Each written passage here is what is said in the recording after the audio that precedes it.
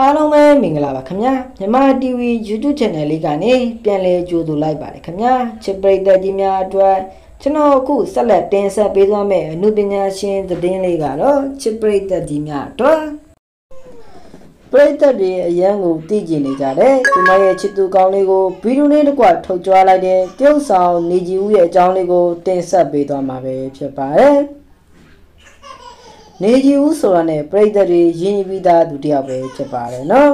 တစ်ချိန်ကပြိတ္တအားပေးမှုတွေအပြင်းနဲ့အောင်မြင်မှုတွေရရှိခဲ့တဲ့သူတယောက်ပဲဖြစ်ပါတယ်ခဏလေးအတွင်းမှာတင်ထိတ်တန်းဆယ်လီတယောက်ပဲဖြစ်ခဲ့ပါတယ်နိုင်ငံရေးအခြေအနေတွေဖြစ်ပြီးနောက်ပိုင်းသူမကိုပြိတ္တတွေကဘိုက်ကောလောက်တာကိုခံခဲ့ရတဲ့သူတယောက်ပဲဖြစ်ပါတယ်နော်